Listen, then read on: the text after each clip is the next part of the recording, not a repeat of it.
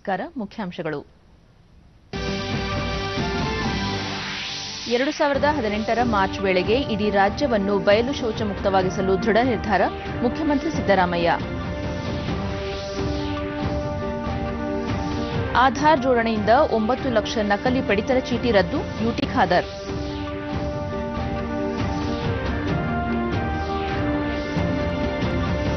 ಶ್ರೀನಗರ ವಿಮಾನ ನಿಲ್ದಾಣ ಸಮೀಪ ಬಿಎಸ್ಎಫ್ ಶಿಬಿರದ ಮೇಲೆ ಉಗ್ರರ ದಾಳಿ.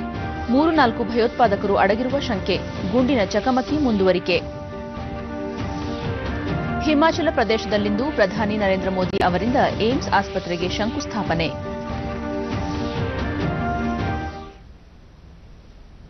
ವಾರ್ತೆಗಳ ವಿವರ. ಸ್ವಚ್ಛ ಭಾರತ ಅಭಿಯಾನದಡಿ ಬಯಲು ಬಹಿರ್ದೆಸೆ ಮುಕ್ತ ಘೋಷಿತ ಪಂಚಾಯಿತಿಗಳಿಗೆ ಗಾಂಧಿ ಗ್ರಾಮ ಪುರಸ್ಕಾರ ಕಾರ್ಯಕ್ರಮವನ್ನು ಬೆಂಗಳೂರಿನಲ್ಲಿ ನಿನ್ನೆ ಹಮ್ಮಿಕೊಳ್ಳಲಾಗಿತ್ತು. ಉತ್ತಮ ಗ್ರಾಮ ಪಂಚಾಯಿತಿ, ತಾಲೂಕು ಹಾಗೂ ಜಿಲ್ಲಾ ಪಂಚಾಯಿತಿ ಅಧ್ಯಕ್ಷರು ಮತ್ತು ಸದಸ್ಯರನ್ನು ಮುಖ್ಯಮಂತ್ರಿ ಸಿದ್ದರಾಮಯ್ಯ ಪುರಸ್ಕರಿಸಿದರು.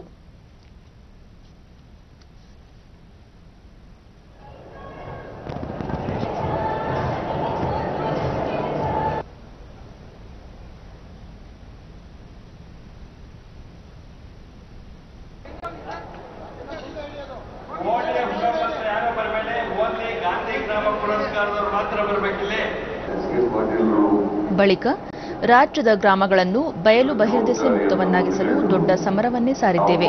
ಈ ನಿಟ್ಟಿನಲ್ಲಿ ಉತ್ತಮ ಪ್ರಗತಿಯನ್ನು ಸಾಧಿಸಲಾಗಿದ್ದು, ಒಂದು ಸಾವಿರದ ಒಂಬೈನೂರ ಮೂವತ್ತೇಳು ಪಂಚಾಯತ್ಗಳನ್ನು ಬಯಲು ಬಹಿರ್ದೆಸೆ ಮುಕ್ತ ಪಂಚಾಯತ್ಗಳನ್ನಾಗಿ ಘೋಷಿಸಲಾಗಿದ್ದು, ಮೂವತ್ತೊಂದು ಲಕ್ಷ ಅರವತ್ತು ಸಾವಿರ ಶೌಚಾಲಯಗಳನ್ನು ನಿರ್ಮಾಣ ಮಾಡಲಾಗಿದೆ ಎಂದು ಹೇಳಿದರು.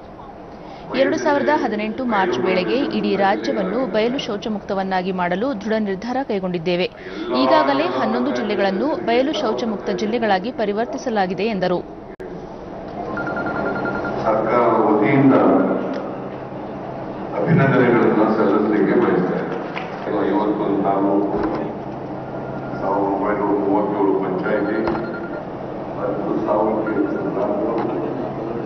ಇವತ್ತು ಬಯಲು ಬಯಲು ಮುಕ್ತ ಆಗ್ತಾ ಇದ್ದಾರೆ. ಇದನ್ನು ಅತ್ಯಂತ ಸಂತೋಷದಿಂದ ಘೋಷಣೆ ಮಾಡಿ ಮತ್ತೊಮ್ಮೆ ಎಲ್ಲ ಜಿಲ್ಲಾ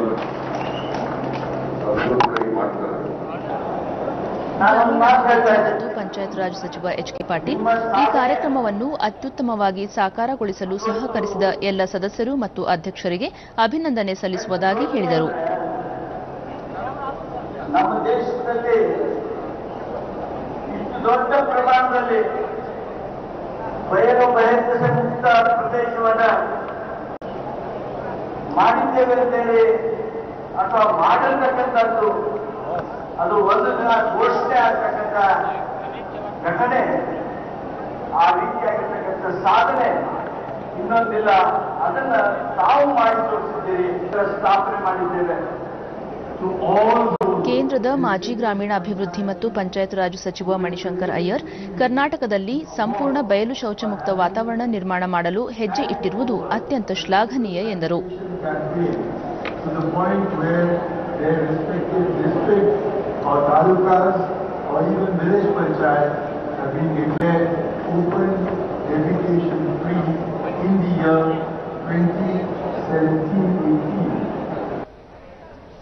ಈ ಸಂದರ್ಭದಲ್ಲಿ ಸ್ವಚ್ಛ ಭಾರತ ಕುರಿತು ಅರಿವು ಮೂಡಿಸುವ ಪ್ರದರ್ಶನವನ್ನು ಏರ್ಪಡಿಸಲಾಗಿತ್ತು.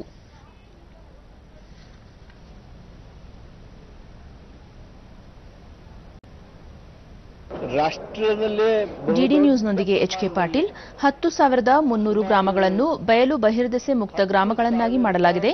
ಒಂದು ಕೋಟಿ ಎಪ್ಪತ್ತೈದು ಲಕ್ಷ ಜನರು ಈ ಅಭಿಯಾನದಡಿ ಬರಲಿದ್ದಾರೆ ಎಂದರು. ಬಯಲು ಬಹಿರ್ದೆಸೆ ಮುಕ್ತ ಗ್ರಾಮಗಳನ್ನಾಗಿ ಮಾಡಿ ಅವುಗಳ ಘೋಷಣೆ ಮಾಡಿ ಇವತ್ತು ನಮ್ಮ ಗುರಿಯನ್ನು ನಾವು ಸಾಧಿಸಿದ್ದೇವೆ. ಇಷ್ಟು ದೊಡ್ಡ ಪ್ರದೇಶವನ್ನು ಅಂದರೆ ಸುಮಾರು ಒಂದು ಕೋಟಿ ಎಪ್ಪತ್ತೈದು ಲಕ್ಷ ಜನಸಂಖ್ಯೆಯನ್ನು ಈ ನಮ್ಮ ಅನಿಷ್ಟ ಪದ್ಧತಿ ಏನಿತ್ತು ಬಯಲು ಬಹಿರ್ದೆಸೆ, ಅದರಿಂದ ಮುಕ್ತ ಮಾಡುವಂತ ವ್ಯವಸ್ಥೆಯನ್ನು ರೂಪಿಸಿ ಇವತ್ತು ಘೋಷಣೆಯನ್ನು ಮಾಡಿದ್ದೇವೆ. ರಾಮನಗರ ಜಿಲ್ಲೆ. ರಾಮನಗರ ಜಿಲ್ಲಾ ಪಂಚಾಯತ್ ಅಧ್ಯಕ್ಷ ರಾಜೇಶ್ ಗಾಂಧಿ ಗ್ರಾಮ ಪುರಸ್ಕಾರ ದೊರೆತಿರುವುದು ಇಡೀ ಜಿಲ್ಲೆಗೆ ಸಂದ ಗೌರವವಾಗಿದೆ. ಜನಪ್ರತಿನಿಧಿಗಳೆಲ್ಲೂ ಒಗ್ಗಟ್ಟಿನಿಂದ ಈ ಗುರಿಯನ್ನು ಸಾಧಿಸಬೇಕಿದೆ ಎಂದರು. ಪ್ರತಿನಿಧಿಗಳು ಹಾಗೂ ಸರ್ಕಾರಿ ಅಧಿಕಾರಿಗಳು ಎಲ್ಲರೂ ಒಗ್ಗಟ್ಟಿನಿಂದ ಒಂದು ಏನಂದ್ರೆ ಒಂದು ಹೋರಾಟದ ರೀತಿಯಲ್ಲಿ ಒಂದು ಇಚ್ಛಾಶಕ್ತಿಯಿಂದ ಎಲ್ಲರೂ ಕೈಗೂಡಿಸಿ ಕೆಲಸ ಮಾಡುವುದರಿಂದ ಈ ಗುರಿಯನ್ನು ಸಾಧಿಸಲು ಸಾಧ್ಯವಾಯಿತು. ಅಂತ ನಾವು ನಾನು ಜಿಲ್ಲಾ ಪಂಚಾಯತಿ ಅಧ್ಯಕ್ಷನಾಗಿ ನನ್ನ ಒಂದು ಇದರಲ್ಲಿ ಆದದ್ದು ನನಗೆ ತುಂಬಾ ಹೆಮ್ಮೆ ಅನಿಸ್ತದೆ.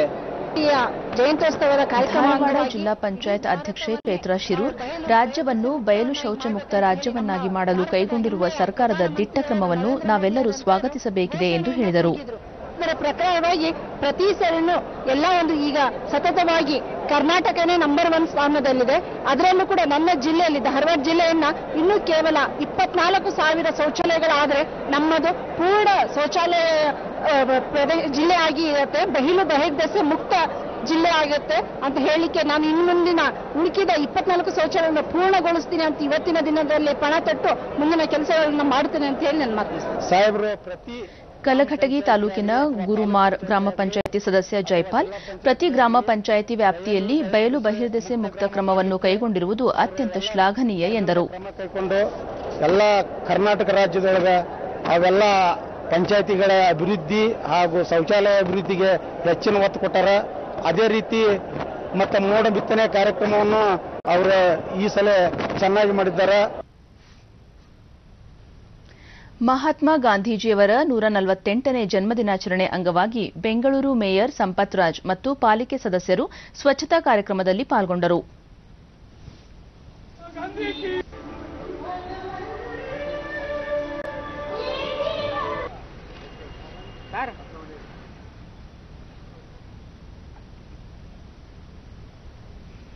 ನಂತರ ಸಂಪತ್ ರಾಜ್, ಸ್ವಚ್ಛತೆ ಕಾಪಾಡುವುದು ಎಲ್ಲರ ಜವಾಬ್ದಾರಿ. ಆಗ ಮಾತ್ರ ನಗರವನ್ನು ಸುಂದರವಾಗಿಡಲು ಸಹಕಾರಿಯಾಗಲಿದೆ.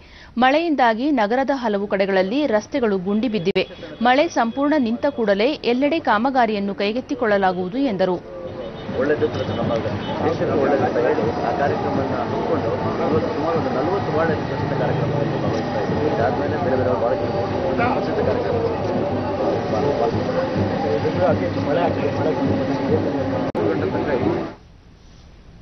ಗಾಂಧಿ ಜಯಂತಿ ಪ್ರಯುಕ್ತ ಮಂಗಳೂರಿನ ಸೂರತ್ಕಲ್ ಕೊಂಕಣ ರೈಲು ನಿಲ್ದಾಣದಲ್ಲಿ ಎಂಆರ್ಪಿಎಲ್ ಮತ್ತು ಸಿಐಎಫ್ಎಸ್ ವತಿಯಿಂದ ಸ್ವಚ್ಛತಾ ಕಾರ್ಯವನ್ನು ನಿನ್ನೆ ಹಮ್ಮಿಕೊಳ್ಳಲಾಗಿತ್ತು.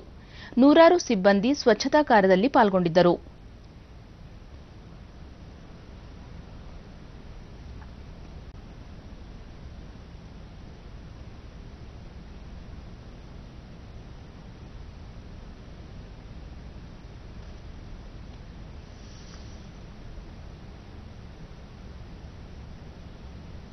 ಎಂಆರ್ಪಿಎಲ್ನ ರಿಫೈನರಿ ನಿರ್ದೇಶಕ ಎಂ ವೆಂಕಟೇಶ್ ಪುರಸಭೆಗಳ ಸ್ವಚ್ಛತೆಗೆ ತಂತ್ರಜ್ಞಾನ ಅಳವಡಿಕೆ ಕುರಿತು ನಮ್ಮ ಸಂಸ್ಥೆ ಚಿಂತನೆ ನಡೆಸಿದ್ದು ಸ್ವಚ್ಛತಾ ಅಭಿಯಾನಕ್ಕೆ ಪ್ರಧಾನಿ ಅವರ ಜೊತೆ ನಾವೆಲ್ಲರೂ ಕೈಜೋಡಿಸುವ ಅಗತ್ಯವಿದೆ ಎಂದರು.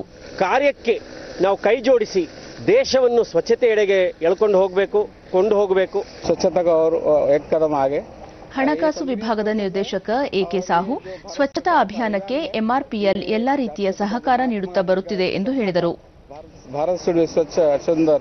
एंड वही हिसाब से हम लोग काम कर रहे हैं।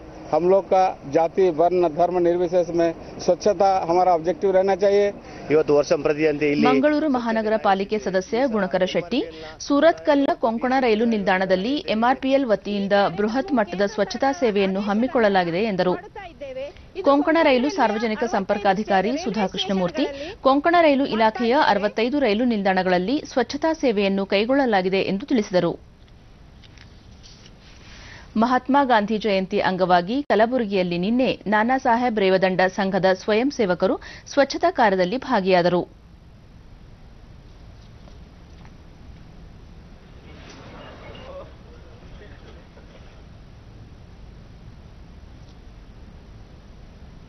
ಸಂಘದ ಡಾಕ್ಟರ್ ಬಿಎನ್ ಜೋಶಿ, ಕಳೆದ ಕೆಲವು ವರ್ಷಗಳಿಂದ ದೇಶಾದ್ಯಂತ ಸ್ವಚ್ಛತಾ ಅಭಿಯಾನ ಹಮ್ಮಿಕೊಳ್ಳಲಾಗಿದೆ.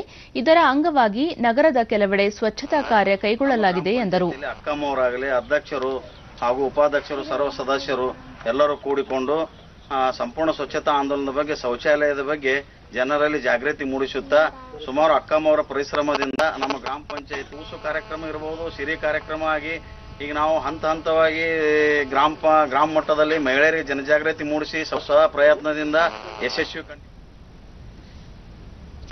ಭಾರತೀಯ ಸ್ಟೇಟ್ ಬ್ಯಾಂಕ್ ವತಿಯಿಂದ ಬೆಂಗಳೂರಿನಲ್ಲಿ ನಿನ್ನೆ ಸ್ವಚ್ಛತಾ ಜಾಥಾ ಹಮ್ಮಿಕೊಳ್ಳಲಾಗಿತ್ತು. ಎಸ್ಬಿಐ ಸಿಬ್ಬಂದಿ ಕಬ್ಬನ್ ಪಾರ್ಕ್ ಸುತ್ತಮುತ್ತ ಸ್ವಚ್ಛತಾ ಕಾರ್ಯದಲ್ಲಿ ಪಾಲ್ಗೊಂಡರು. ಎಸ್ಬಿಐ ಅಧಿಕಾರಿಗಳ ಸಂಘದ ಕಾರ್ಯದರ್ಶಿ ಶ್ರೀನಿವಾಸ್, ಸ್ವಚ್ಛ ಭಾರತ, ಸ್ವಸ್ಥ ಭಾರತ ಪರಿಕಲ್ಪನೆಯೊಂದಿಗೆ ಭಾರತೀಯ ಸ್ಟೇಟ್ ಬ್ಯಾಂಕ್ ವತಿಯಿಂದ ಇಂದು ಸ್ವಚ್ಛತಾ ಆಂದೋಲನವನ್ನು ದೇಶಾದ್ಯಂತ ಹಮ್ಮಿಕೊಳ್ಳಲಾಗಿದೆ ಎಂದರು.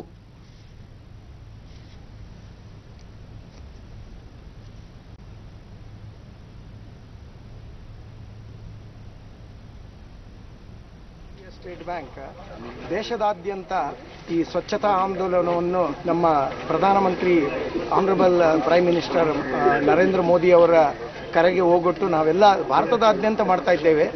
ಸ್ವಚ್ಛ ಭಾರತ, ಆರೋಗ್ಯ ಭಾರತ ಅಂತ. ಸ್ವಚ್ಛತೆ ಇದ್ದರೆ ಆರೋಗ್ಯ, ಅದು ನೆಕ್ಸ್ಟು ದೇವರು ಗಾಡ್ ಇದ್ದಾಗೆ. ಅದಕ್ಕೆ ಈ ಆಂದೋಲನದಲ್ಲಿ ನಾವು ದೇಶದ ಪ್ರಧಾನಮಂತ್ರಿ ಜೊತೆಗೆ ಮತ್ತು ಭಾರತ ಸರ್ಕಾರದ ಜೊತೆ ನಾವು ಕೈಗೂಡಿಸಿ ದೇಶದಾದ್ಯಂತ ನಮ್ಮ ಭಾರತೀಯ ಸ್ಟೇಟ್ ಬ್ಯಾಂಕ್ ಬೆಂಗಳೂರು ವೃತ್ತ ಬ್ಯಾಂಗ್ಳೂರ್ ಸರ್ಕಲ್ ಮತ್ತು ಆಲ್ ಓವರ್ ಇಂಡಿಯಾ ನಾವು ವಿ ಆರ್ ರೀಡೆಡಿಕೇಟಿಂಗ್ ಬ್ಯಾಂಕಿನ ಮುಖ್ಯ ಪ್ರಧಾನ ವ್ಯವಸ್ಥಾಪಕ ಫಾರೂಕ್ ಶಹಾ ಮಹಾತ್ಮ ಗಾಂಧಿ ಅವರ ಸ್ವಚ್ಛತೆಯ ಕನಸಿಗೆ ಪ್ರಧಾನಿ ನರೇಂದ್ರ ಮೋದಿ ಒತ್ತು ನೀಡಿದ್ದಾರೆ. ಮುಂದಿನ ದಿನಗಳಲ್ಲಿ ಇಂತಹ ಹೆಚ್ಚು ಕಾರ್ಯಕ್ರಮಗಳನ್ನು ಹಮ್ಮಿಕೊಳ್ಳಲಾಗುವುದು ಎಂದರು. ಪಡಿತರ ಚೀಟಿ ಮತ್ತು ಗ್ಯಾಸ್ ಸಂಪರ್ಕ ಹೊಂದಿರುವ ಗ್ರಾಮೀಣ ಪ್ರದೇಶದ ಫಲಾನುಭವಿಗಳಿಗೆ ಒಂದು ಲೀಟರ್ ಸೀಮೆ ಎಣ್ಣೆ ನೀಡಲಾಗುವುದು ಎಂದು ಆಹಾರ ಮತ್ತು ನಾಗರಿಕ ಪೂರೈಕೆ ಸಚಿವ ಯುಟಿ ಖಾದರ್ ಚಾಮರಾಜನಗರದ ಗುಂಡ್ಲುಪೇಟೆಯಲ್ಲಿ ನಿನ್ನೆ ಹೇಳಿದ್ದಾರೆ. ಗ್ರಾಮ ಪಂಚಾಯಿತಿಗಳಲ್ಲಿ ಹೆಸರು ನೋಂದಾಯಿಸಿಕೊಂಡಿರುವವರಿಗೆ ಮಾತ್ರ ಈ ಸೌಲಭ್ಯ ದೊರೆಯಲಿದೆ. ಆಧಾರ್ ಜೋಡಣೆಯಿಂದ ಒಂಬತ್ತು ಲಕ್ಷ ನಕಲಿ ಪಡಿತರ ಚೀಟಿ ರದ್ದಾಗಿದ್ದು, ಇದರಿಂದ ಸರ್ಕಾರಕ್ಕೆ ಪ್ರತಿ ತಿಂಗಳು ನಲವತ್ತು ಸಾವಿರ ಮೆಟ್ರಿಕ್ ಟನ್ ಆಹಾರ ಸೋರಿಕೆ ತಡೆಗಟ್ಟಿದಂತಾಗಿದೆ ಎಂದರು. ಯಾಕೆ ನಮ್ಗೆ ಯಾರಿಗೆ ಎಷ್ಟು ಜನಕ್ಕೆ ಬೇಕಂತ ನಮ್ಗೆ ಗೊತ್ತಾಗುದಿಲ್ಲ. ಎರಡನೇದು ಇವತ್ತು ನಾವು ಕಾರ್ಡ್ ಇದುವರೆಗೆ ಪಡಿತರ ಚೀಟಿಗಾಗಿ ಹದಿನಾರು ಲಕ್ಷದ ಐವತ್ತು ಸಾವಿರ ಅರ್ಜಿಗಳು ಬಂದಿದ್ದು ಈಗಾಗಲೇ ಮೂರು ಲಕ್ಷ ಬಿಪಿಎಲ್ ಕಾರ್ಡ್ಗಳನ್ನು ವಿತರಿಸಲಾಗಿದೆ.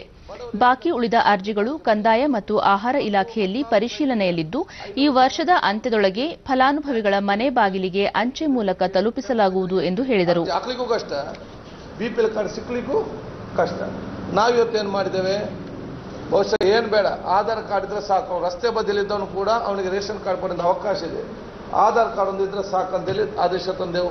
ಸೆಕೆಂಡ್ ಹದಿನಾಲ್ಕು ಕ್ರೈಟ್ ನಾವು ರದ್ದುಪಡಿಸಿ, ನಾವು ಬರೇ ಒಂದೇ ಕ್ರೈಟೀರಿಯಾ ಒಂದು ಲಕ್ಷ ಇಪ್ಪತ್ತು ಸಾವಿರ ರೂಪಾಯಿ ವ್ಯಾಪ್ತಿ ಯಾರು ಒಳಗೆ ಬರ್ತಾರೆ, ಅವ್ರಿಗೆಲ್ಲರೂ ಕೂಡ ಇವತ್ತು ಮಾಡಲು ಅವಕಾಶಗಳಿದೆ.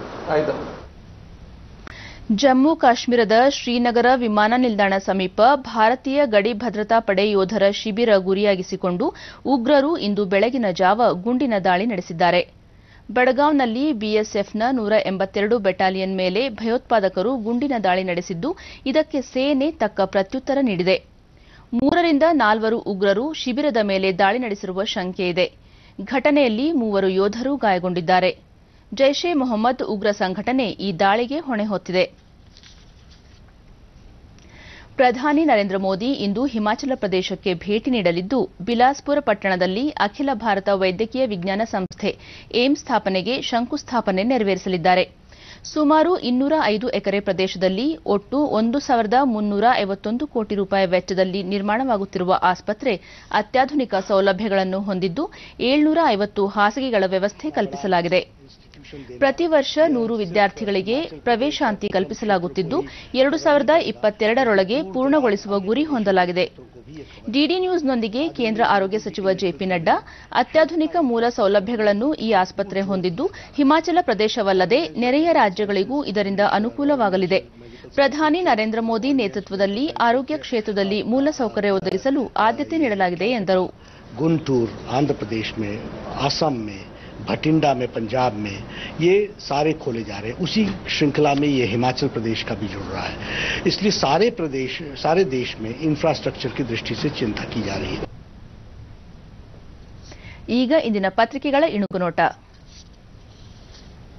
ಎಲ್ಲರೂ ಕೈ ಬೆಸೆದರಷ್ಟೇ ಸ್ವಚ್ಛತೆ ಸ್ವಚ್ಛ ಭಾರತ ಅಭಿಯಾನದ ಮೂರನೇ ವರ್ಷಾಚರಣೆಯಲ್ಲಿ ಪ್ರಧಾನಿ ಆರು ತಿಂಗಳಲ್ಲಿ ರಾಜ್ಯ ಬಯಲು ಶೌಚ ಮುಕ್ತ ಗಾಂಧಿಗ್ರಾಮ ಪುರಸ್ಕಾರ ಸಮಾರಂಭದಲ್ಲಿ ಸಿಎಂ ಘೋಷಣೆ.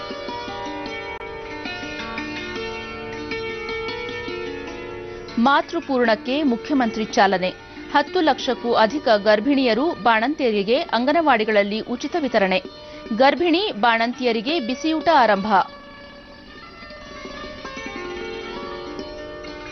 ಗಾಂಧಿ ಇ ಮ್ಯೂಸಿಯಂಗೆ ಹತ್ತು ಕೋಟಿ ರೂಪಾಯಿ. ಗ್ರಾಮೀಣಾಭಿವೃದ್ಧಿ ಮತ್ತು ಪಂಚಾಯತ್ ರಾಜ್ ಸಚಿವ ಎಚ್ಕೆ ಪಾಟೀಲ್ ಹೇಳಿಕೆ.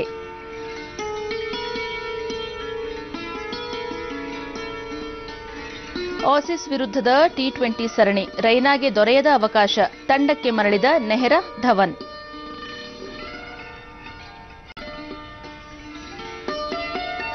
ಇವು ಇಂದಿನ ಪತ್ರಿಕೆಗಳ ಪ್ರಮುಖ ಸುದ್ದಿ, ಉಳಿದಂತೆ,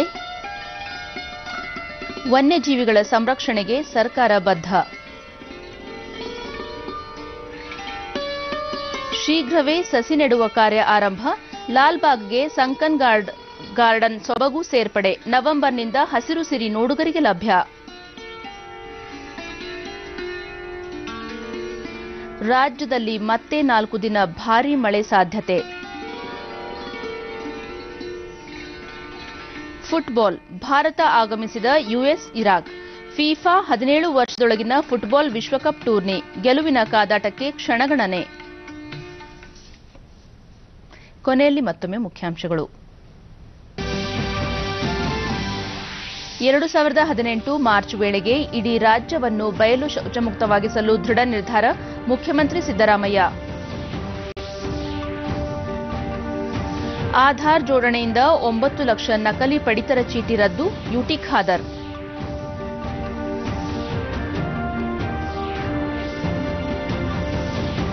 ಶ್ರೀನಗರ ವಿಮಾನ ನಿಲ್ದಾಣ ಸಮೀಪ ಬಿಎಸ್ಎಫ್ ಶಿಬಿರದ ಮೇಲೆ ಉಗ್ರರ ದಾಳಿ.